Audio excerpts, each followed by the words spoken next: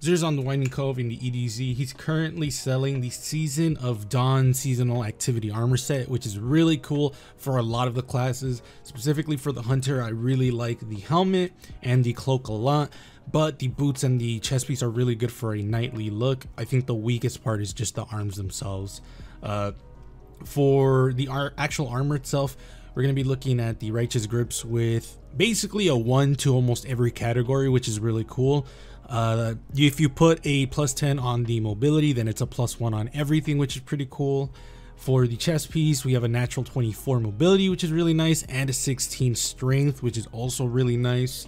Uh, I would just prefer a little bit higher of resilience or recovery, but this is not bad at all.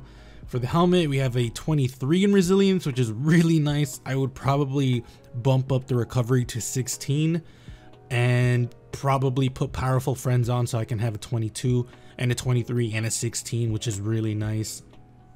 And then for the boots we have a 10 on mobility and 20 on recovery which is really nice. If you put powerful friends on then at, at that point you have 30 mobility and if you want to bump it up to 40 you can or you can put it into resilience. Either way this is really cool. And intellect and strength is at 12 which is also really nice.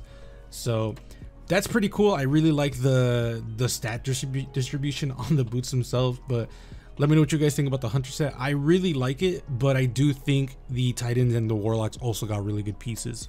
As for the Titans, I really like the chest piece and the helmet. The boots can be very usable. The mark is really, really good. And again, the arms I think are the only weak point of the whole set, which doesn't change for the Warlocks. I think the Warlocks also have a really weak arm.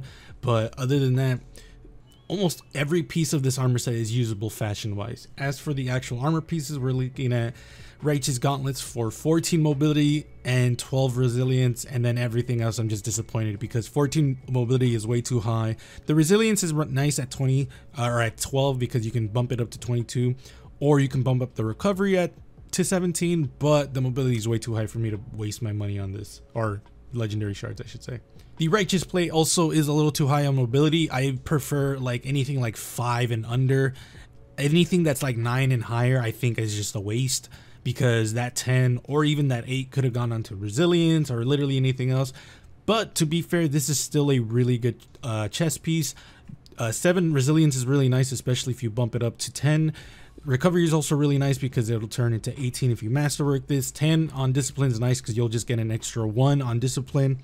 And intellect at 18 is really gross because once you masterwork this you get a 2 on intellect. So it's good it's just i wish the mobility was a little lower but it's that that really is me just being nitpicky.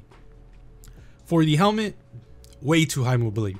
This is not being me being nitpicky. 15 mobility on the titan is way too much for an armor piece in my opinion which sucks because if let's say that 13 went on to the resilience then that would have been amazing. That that would have been a really good chess piece.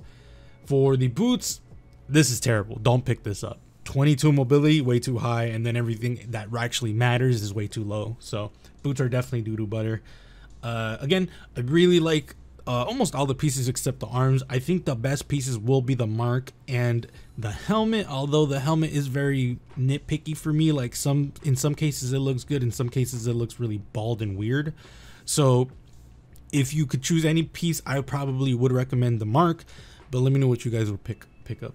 As for the Warlocks, I think the arms the chest piece and maybe even the bond are the, the weakest parts from this whole set. I think the helmet and the boots are very usable, but the chest piece is a little too bare for my taste.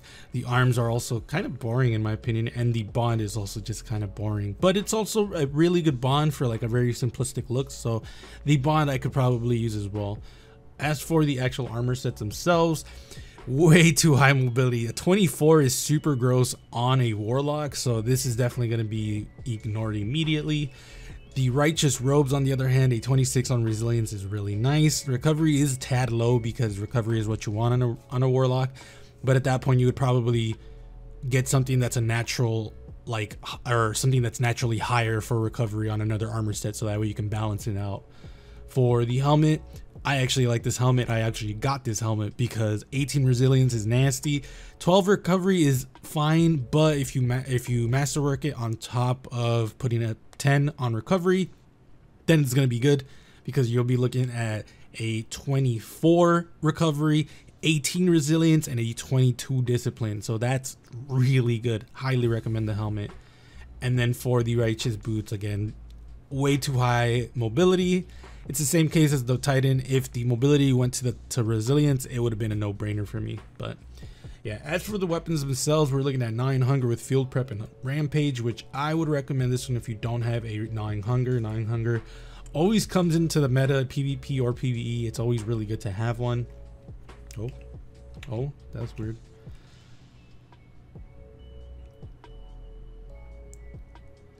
For Survivor's Epitaph, we have Tunnel Vision and Moving Target, which is okay. I There's definitely way better ones that you can get right now, especially since you can still farm for this one, kind of.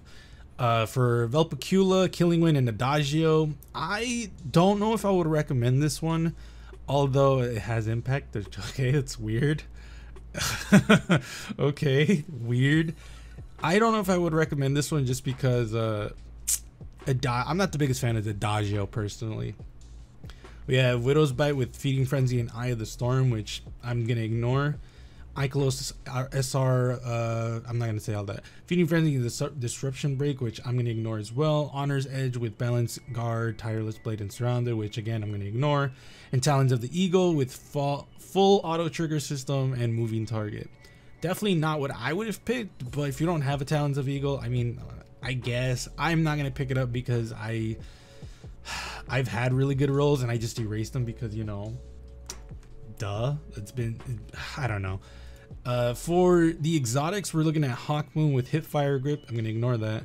Dead Man's Tale with Vorpal, which I would recommend this one heavily. Vorpal is really good, especially in PvE. It's super super good. There's only like another perk that I would recommend over Vorpal Weapon, which would be fourth times the charm. Uh, and for the other ones tractor cannon which is really good. If you don't have tractor cannon i would recommend it. It's really fun in pvp. And in pve it's a really good uh, weapon to debuff shit. For lucky pants we have a 28 on mobility which is really nice but then pretty terrible resilience and recovery. So i'm probably going to ignore this because i think i have a better roll. For peacekeepers you have a 24 in recovery which is really nice I would most likely just put all my chips into resilience at this at this point because recovery at 24 is really nice. And then for Aeon Soul, we have ooh not good. That's what we have. So let me know what you guys think in the comments below, what you guys are gonna pick up, and let me know in the comments below. I'm not gonna pick the exotic up for my warlock, I'm gonna pick it up for my hunter. So let's see what we're actually gonna be picking up with these exotic engram. Hopefully it's something good. Hopefully it's Omnioculus, which of course it's not because this game hates me. Um, it's funny too because I picked the the exotic up before and it gave me a Mechaneer's trick sleeve because of course it would. Resilience at 19 is pretty. That's pretty foul, dog. That's. Mm, I might hold on to this one. This one I I may hold on to that one too. But yeah, let me know what you guys think in the comments below. You guys uh, did not see that armor set that I just have because that's technically for a video. But yeah, let me know what you guys think. What are you guys going to be picking up? Let me know in the comments below. Again, I highly recommend some of the pieces that I recommended for the Hunter Titan and Warlock because a lot of them are really, really good. Uh, specifically for certain uh, themes like a night look for sure. So yeah, be safe and I'll see you guys later.